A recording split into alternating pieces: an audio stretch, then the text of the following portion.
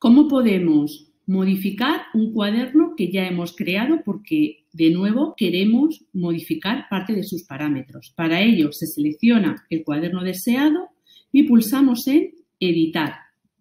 En el momento en que lo estamos editando, podemos mm, cambiar cualquiera de sus parámetros, o bien el nombre, o bien la observación, o bien los talleres que tengamos asignados. Por ejemplo, aquí puedo incluir un taller nuevo, en este caso lo voy a incluir de quinto de primaria, para trabajar el hiato en las palabras.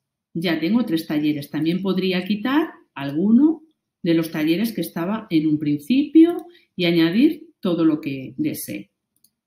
Desde aquí configuro los parámetros de aprendizaje, como más adelante veremos,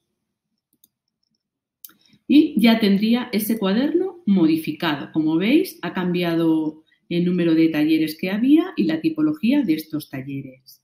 Si lo que quiero es duplicar el cuaderno para hacer una modificación a partir de ese duplicado, se hace desde aquí, duplicar. Ya tengo el cuaderno duplicado que ahora mismo podría modificar o incluso darle otro nombre.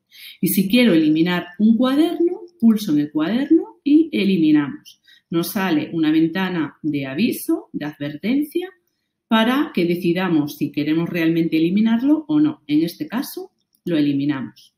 Ya está el cuaderno eliminado.